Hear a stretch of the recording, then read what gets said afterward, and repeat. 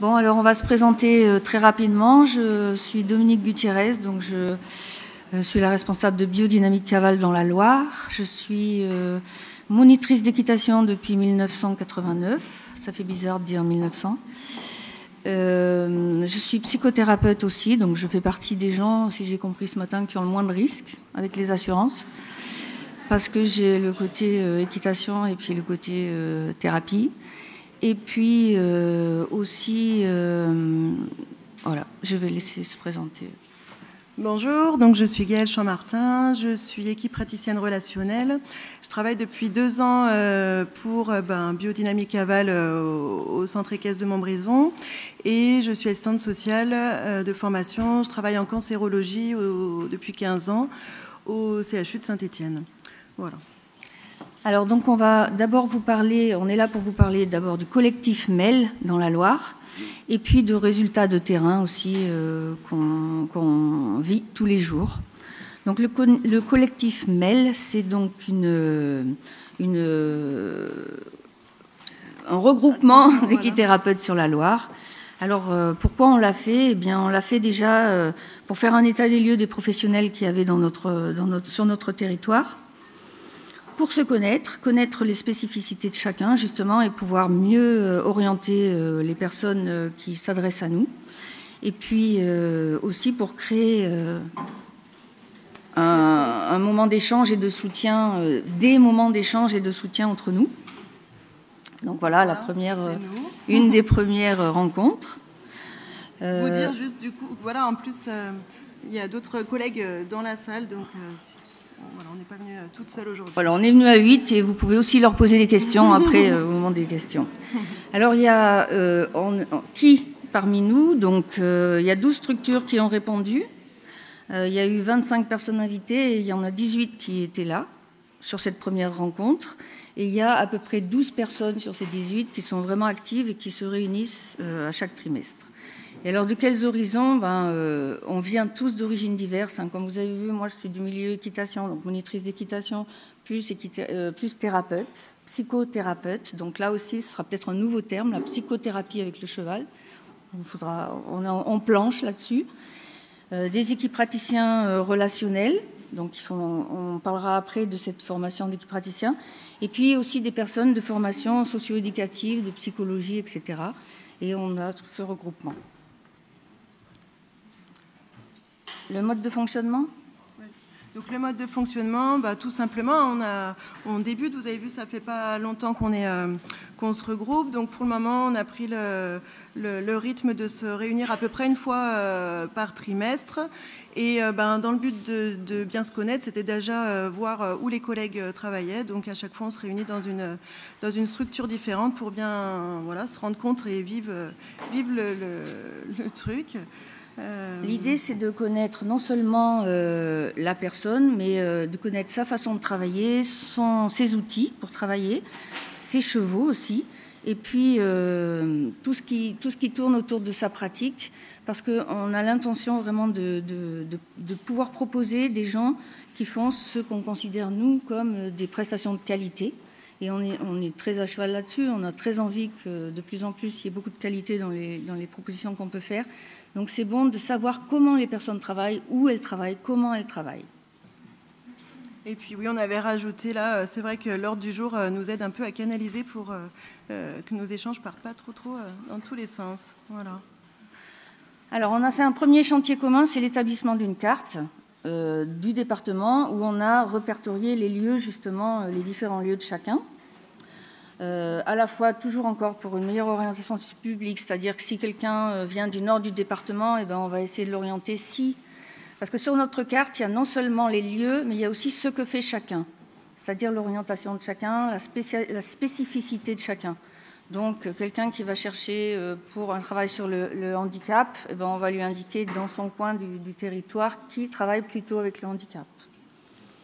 Oui, c'est ce qu'on vous a mis euh, là sur euh, les, publics accueillis. Donc, euh, c'est vrai que c'est vraiment, bah, comme vous tous, ça peut être assez varié, mais c'est sûr que certains d'entre nous ont plus une spécificité dans ben, l'autisme. Par exemple, il y a Marine qui est là dans la salle qui a cette spécificité-là. moi, j'ai pu travailler, je vais vous en présenter un petit peu, un petit morceau tout à l'heure avec des jeunes atteints de cancer. Dominique, elle est, elle est plus, enfin, une grosse partie de son travail qui est avec les services du SPIP. On a Pierre aussi qui n'a pas pu euh, se déplacer malheureusement, mais qui euh, euh, a tout un travail autour d'une classe Ulysse avec un collège de Saint-Étienne. Donc ça, si ça vous intéresse, il y avait eu des publications aussi qui peuvent se retrouver dans les, médias.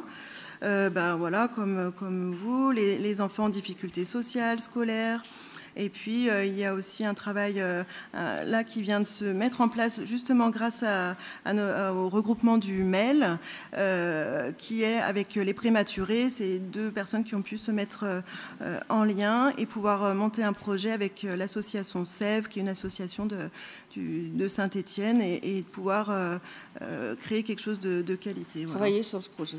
Voilà. Puis d'autres encore, mais vous connaissez aussi, euh, bien que nous, tous les publics qui peuvent, euh, avoir qui peuvent faire appel à nous. Alors le thème abordé lors des rencontres, hein, donc euh, je trouve que toutes les interventions qu'on a vues ce matin, ça nous, ça nous a vraiment conforté dans le travail qu'on fait au MEL, c'est-à-dire on s'est regroupés, quelles que soient nos origines, il y a aussi des équiciens, il y a des, thérapeutes plutôt psychologues, il y a des, équipes, des, des praticiens relationnels, il y a des moniteurs d'équitation, etc. Et on n'a plus de concurrence, on, travaille ensemble. Et donc on travaille sur euh, plein de thèmes, le travail des chevaux, la présentation du matériel. Et, comme ça, par exemple, même au niveau, exemple, moi je sais que dans ce... J'ai pu découvrir une, sorte de, de, de, sol pour le manège. Et je l'ai découvert grâce au mail, en allant visiter les structures de mes collègues et en y voyant ça, j'ai pu le faire, euh, j'ai pu le faire chez moi. Voilà. Ok. Les conventions qu'on utilise avec les institutions, euh, tout ce qui est euh, les questions, les, questions du quotidien qu'on peut avoir dans nos pratiques, hein, les, assurances, l'accueil des stagiaires, l'accueil des, jeunes, les subventions, et on s'est échangé des tuyaux. Comme j'ai fait ce matin, je vous ai partagé la boutique des sciences. Ben, c'est vraiment quelque chose qui tourne euh, tous ensemble. Et puis la publicité, etc. ou pas. On a des projets. Euh, ouais, on est perdu. Alors, on travaille sur euh, un projet de trombinoscope. Sur un fichier encore plus précis, on, a, déjà fait un fichier, mais on veut le préciser pour que ce soit plus rapide, pour trouver exactement les spécificités de chacun. On en travaille là-dessus. La participation à des colloques, ben, on est venu à 8, hein, on a pris un petit minibus et on est venu tous ensemble. Euh, faire parler de nous dans les médias de, notre région pour faire plus connaître encore la pratique de la médiation équine, parce que c'est de plus en plus connu, mais il y a encore du travail à faire là-dessus. Et puis euh, faire aussi connaître les formations qui existent, parce qu'on a une formation de, médiation équine qui est sur deux ans, les équipes praticiens relationnels. Et euh, pareil, on veut, la faire connaître pour les gens qui sont autour de chez nous aussi, et puis peut-être même sur toute la France, puisqu'on a, des, on a vraiment des, des stagiaires qui viennent de partout en France. Et on réfléchit aussi sur une charte de qualité pour que euh, on puisse avoir une que chacune des structures qui vont être qui vont faire partie du MEL euh, adhère à cette charte de qualité. Donc on, veut travailler dessus. Et euh, voilà. voilà, donc je vais vous parler d'une de, mon expérience, moi aussi, de jeune professionnel en, médiation et, et, essayer de vous partager le fait que de travailler ben, en réseau et pas seul a pu être euh, comment, euh, rassurant pour moi et me permettre euh, de, lancer, de me lancer, déjà ça, et puis ensuite pouvoir avoir un petit, comme un garde-fou pour proposer quelque chose de, au mieux quoi, pour, ces, pour, ces, euh, pour ce public-là. Euh, donc là, il s'agissait d'un projet euh, qui a été boosté en fait par la directrice de la Ligue contre le cancer de la Loire, avec qui j'ai beaucoup travaillé dans le service social. C'est une ancienne cavalière, ça l'a voilà, ça lui tenait pas mal à cœur et du coup, le comité a pu financer des séances. et moi, en étant aussi encore une partie de mon travail au CHU, j'ai pu monter ce projet avec une collègue infirmière qui s'occupe spécifiquement de ces jeunes patients et une chargée de projet sociologue qui a pu nous aider à monter des choses, à faire, enfin, monter le projet et puis à faire qu'une une évaluation puisse être possible. Euh, simplement, ce projet-là, euh, il avait comme petite ambition euh, déjà de permettre à ces jeunes patients de sortir. C'est des patients qui ont été hospitalisés pendant, enfin pas tous, mais beaucoup hospitalisés de longs mois, avec dans des chambres stériles, de peu de visites, peu de contacts physiques aussi. voilà, déjà le projet, c'était déjà ça, quoi, permettre de retourner à l'extérieur. Euh, il y avait ça, et puis le fait de pouvoir euh, faire quelque chose dans la convivialité avec leur père, de pouvoir peut-être échanger, s'ils le souhaitaient, sur, euh, sur leur expérience, de, de, leur vécu quoi, de la maladie. J'ai oublié de vous dire qu'il y avait l'infirmière à chaque fois qui était présente sur ces séances-là, et voilà, on a vraiment travaillé ensemble pour ces jeunes. Euh, et puis quelque chose d'autre qui nous tient à cœur, euh, c'était de pouvoir leur redonner euh, leur capacité à agir, de l'autonomie, quoi, parce que c'est sûr qu'on est plutôt un peu plus comment, voilà, on, passif, on va dire, quand on est patient. On, on, a vraiment essayé d'axer les séances là-dessus. Donc là, je pense que vous avez pris connaissance des témoignages qui ont été donnés par ces jeunes les axes qu'on a pu ressortir a été, ben voilà, ce que je disais tout à l'heure, la motivation à ressortir, des jeunes qui se, notamment ceux qui ont été en chambre stérile longtemps, qui n'osaient plus du tout sortir de leur chambre. Donc ça, c'était déjà un grand pas. Euh, autour de la confiance, autour. Euh, alors le dynamisme, ça, ça avait été très fort pour l'infirmière euh, qui avait tendance à dire euh, attention, pas trop vite, pas trop longtemps, etc. Et là, on a vu des jeunes qui ont retrouvé euh, euh, la vitalité, voilà, c'est ça. Et puis l'envie de courir spontanément. Donc voilà, ça c'était des beaux moments. Et puis aussi d'une manière, une autre vision pour le corps soignant de, voir les choses. Voilà, la libération de la parole. Et puis bien sûr, ça rejoint un peu ce qui a été dit aussi au, début de l'après-midi sur le cadre sécurisant qui est important aussi avec l'animal qui est là pour euh, rassurer. Voilà, euh, dans les grandes lignes, euh, il y a eu un, j'ai fait un article, mais qui a malheureusement pas pu être intégré au petit fascicule, mais ça va être sur le, sur le site de l'IFCE prochainement. Voilà.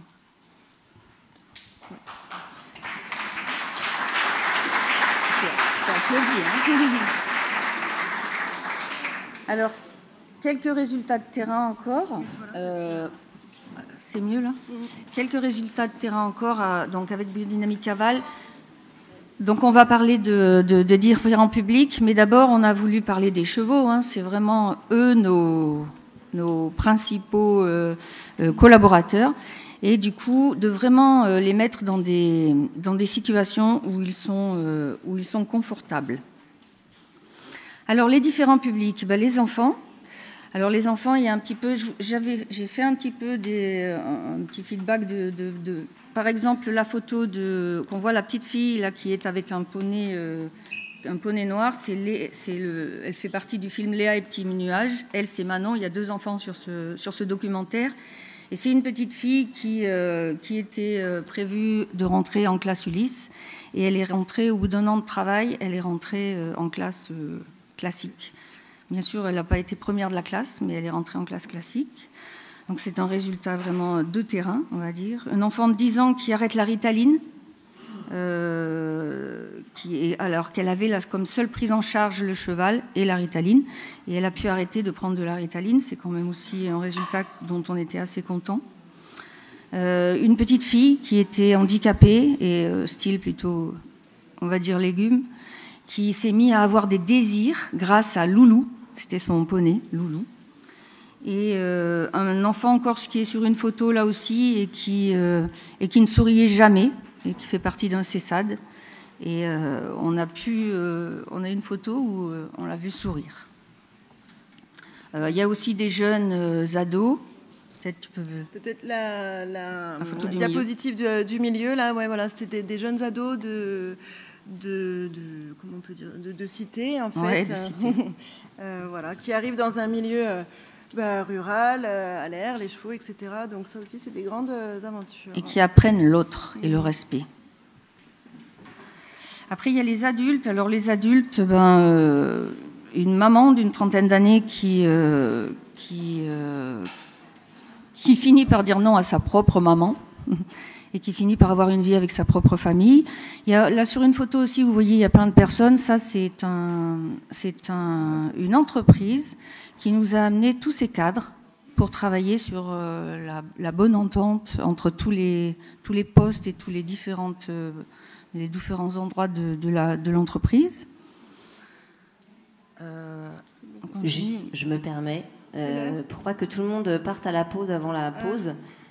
C'était possible, du coup. Euh, oui, on, va, essayer d'aller plus vite. Là, c'est les, personnes handicapées, donc on ne va pas vous raconter tout ce qui est arrivé, mais euh, par exemple, on voit quand même au milieu, c'est un enfant qui était en coque et qui, sur le cheval, quand il était accru sur le cheval, eh bien, il était redressé, il se tenait tout seul. Ensuite, ça, c'est le fameux programme, programme réinsertion et éviter la récidive avec le SPIP. Donc là, euh, il y a eu beaucoup de retours aussi. Euh, il y a aussi, il y avait un travail sur arrêter la radicalisation. Et là, on a eu le cas d'une personne radicalisée qui a accepté, même qui s'est proposé à la fin. Donc il n'y avait que la religion qui pouvait l'aider, le sortir de quoi que ce soit. On pouvait faire ce qu'on voulait avec nos chevaux. On était de toute façon à côté de la plaque. Et à la fin du, du, module, il s'est proposé pour convaincre les autres prisonniers à faire ce module parce qu'il avait trouvé quelque chose. Donc c'est aussi une. Et là, enfin, pour terminer, la, formation dont on parlait tout à l'heure, partisan relationnel, quoi, qui est une formation sur deux ans. Et ça, euh, vraiment, on peut voir que euh, c'est le résultat, le résultat de terrain qu'on a, qu'on a à vous présenter là-dessus, c'est cette, euh, cette formation qui a été mise en place il y a sept ans. Et chaque année, il y a donc six, il y a seulement six places par année, et il y a six personnes qui, qui sortent. Alors ils sont pas toujours six à, travailler, hein. mais euh, voilà. Sur la formation, bah, peut-être qu'on. Oui, moi c'est sûr, je peux juste témoigner par rapport à la formation que euh, comme il y a beaucoup de, pratiques sur ces deux ans, comme euh, Dominique et Loïc qui est là aussi dans la salle nous poussent un peu dans nos retranchements, il y a beaucoup de choses, voilà, de pratiques où on va se découvrir aussi nous-mêmes et, et en tout cas, personnellement, j'ai pu me sentir suffisamment armée, au moins pour débuter. Et ensuite, grâce euh, bah, à l'équipe, euh, aussi du mail maintenant, euh, voilà, ne pas se sentir seul et puis de pouvoir échanger, c'est important. Voilà, et on voulait terminer par seul on va plus vite et ensemble on va plus loin, et vraiment de témoigner que la formation de ce collectif Mail nous a permis de ne plus être concurrents, mais d'être collègues, et c'est magnifique.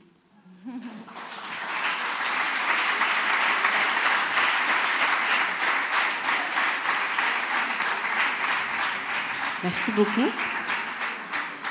Est-ce qu'il y a des hum, questions sur cette présentation?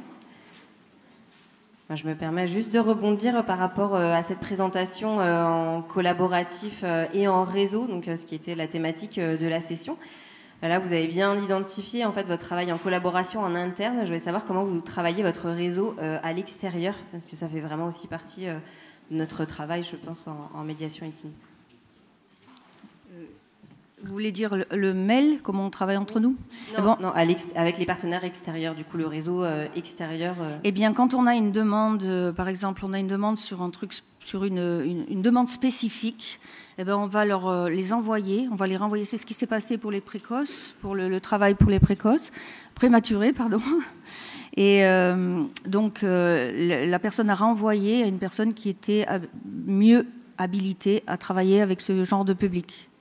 C'est une, des, façons de travailler avec l'extérieur. On va renvoyer à la personne la plus euh, apte à répondre à, cette demande.